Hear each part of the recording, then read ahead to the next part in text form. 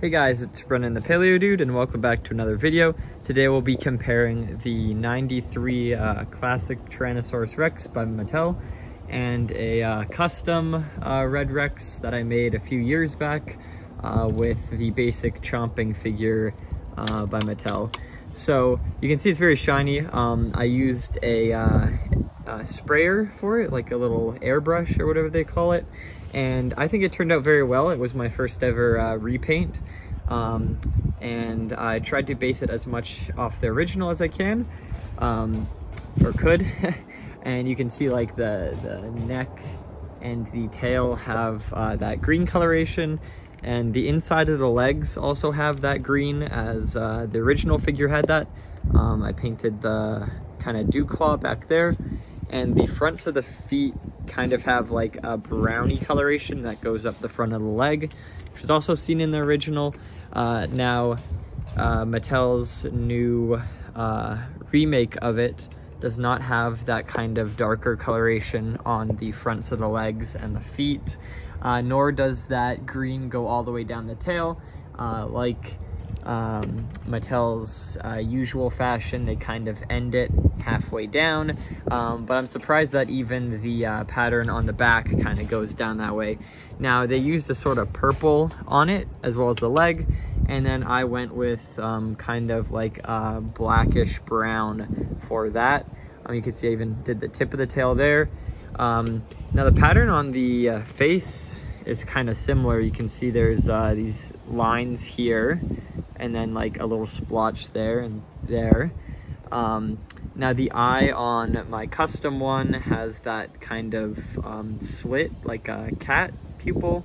Um, and then the, uh, the, of course, modern version has the uh, dot eye instead, but they both have um, a kind of uh, yellow to it. I think the original is more of a green coloration.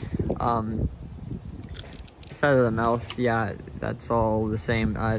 The teeth are pretty yellow on the uh, the newer figure, um, and of course with the feet, um, one of the major problems with it is there's so many large scales on one foot and then very few on another, so they're not really matching up with those. But since this figure was uh, made a while back, the chomping one, um, the feet don't have that problem. But yeah, uh, this one is a bit bigger. Um, they scaled it up from the Chomping Rex, I'm pretty sure. Oh yeah, yeah, definitely.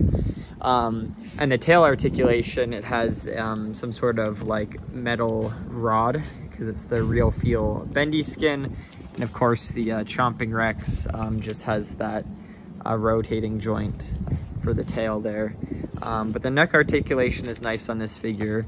Um, this one doesn't have it because it has the swallowing action where you can stick things in its mouth.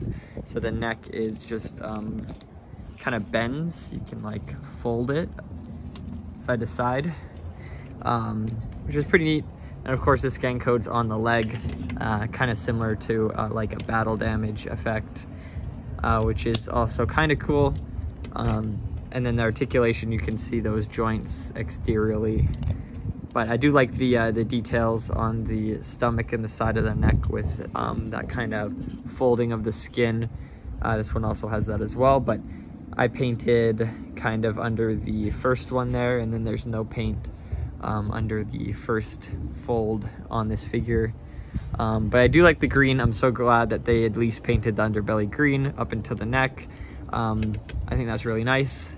And yeah, so uh, I wasn't actually expecting them to make the uh, the original Kenner Rex, and that's hence why I sacrificed one of my own to make this custom. Um, I had a few doubles of it, so it wasn't that big of a sacrifice, and it did turn out pretty decently. Um, but I do love this Rex, of course, because um, unlike the painted version, um, you can take it around and uh, it can take quite a beating before the paint starts getting damaged and worn. And I do like that the teeth are separate plastic, so if you make it bite anything, um, it's not gonna get scuffed paint on the teeth because there's no paint there. So that's my quick little uh, comparison of my custom and the 93 classic version. Um, stay tuned for my uh, comparison of the uh, uh, newer one and the original Kenner version, which I'll probably post tomorrow So I'll see you guys then. Bye-bye.